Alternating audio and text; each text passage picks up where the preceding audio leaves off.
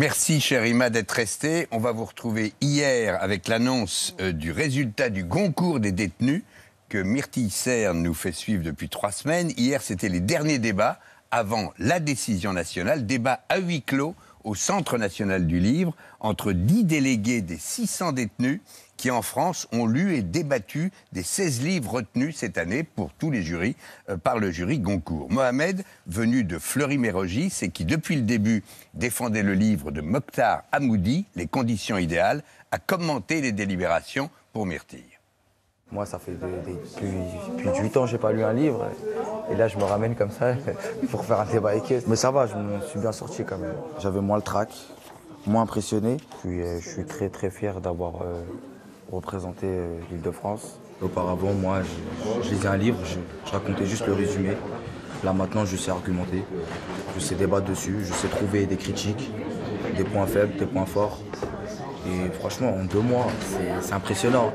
Et puis vous êtes arrivée, madame, en compagnie de votre collègue de la justice, mais aussi bien sûr de Didier Decoing, le président de l'Académie Goncourt. Et devant vous tous, forcément intimidés, c'est encore Mohamed, 21 ans, qui annonçait le résultat de la deuxième édition.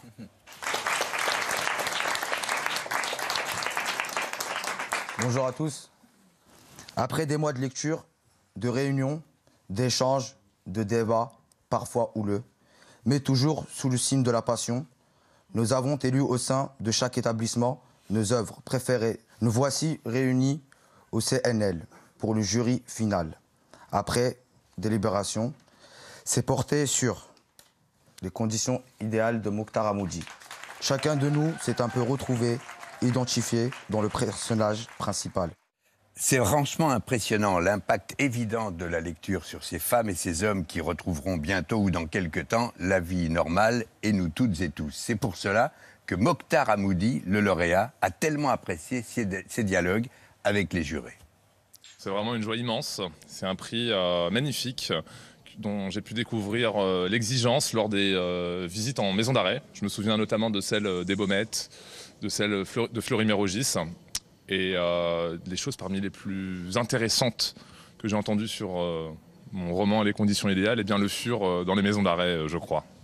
Le très beau roman de Mokhtar Hamoudi évoque le parcours d'un jeune homme scandaire que sa mère ne peut accompagner et qui sera récupéré par l'aide sociale à l'enfance. Je lui avais dit, hein, je lui ai dit, je ferai tout pour vous faire, euh, pour vous faire euh, remporter le prix. Et j'ai tenu ma parole. C'est pour ça que tout à l'heure, quand il m'a vu, il m'a pris dans ses bras. Je lui ai demandé s'il y a moyen qu'on se voit quand je sors de prison.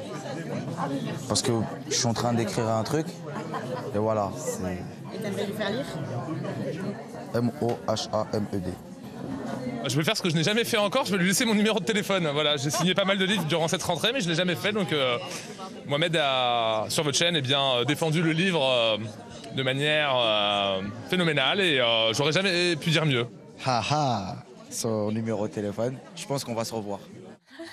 C'est très fort, Rimal, euh, je pense, cette initiative de vos ministères, ceux de la justice et, et de la culture, du CNL, de l'Académie Goncourt, parce qu'on voit dès cette deuxième édition l'apport incroyable de la lecture sur ces hommes et ces femmes. Oui, c'est extrêmement important pour leur temps en détention, pour un peu en quelque sorte élargir la vie qu'ils ont dans ces cellules et créer un lien différent avec leur famille. Moi, il y a un détenu qui m'a dit quand j'étais au parloir avec ma fille, je ne savais plus quoi lui dire, qu'est-ce que je vais lui raconter de ma vie en prison. Maintenant, je lis et je lui parle des livres que je lis, ça lui donne envie de les lire et on parle de littérature. Ça, ça m'a énormément touchée. Et puis, il faut penser à leur réinsertion, à la sortie. Et ces livres vont les accompagner, vont leur donner un peu espoir ces personnages vont leur ouvrir leurs horizons, le champ des possibles. Et effectivement, ce jeune Mohamed avec qui j'ai échangé hier me disait j'ai envie d'écrire, j'ai peut-être envie d'aller vers des métiers qui sont liés à l'écriture ou à la littérature. Peut-être qu'un jour il sera libraire ou bibliothécaire ou même écrivain. En tout cas, euh, on, on a tous envie de le retrouver dans quelques mois pour voir ce qu'il va devenir à la sortie de prison. On laisse le dernier mot à Mokhtar Hamoudi.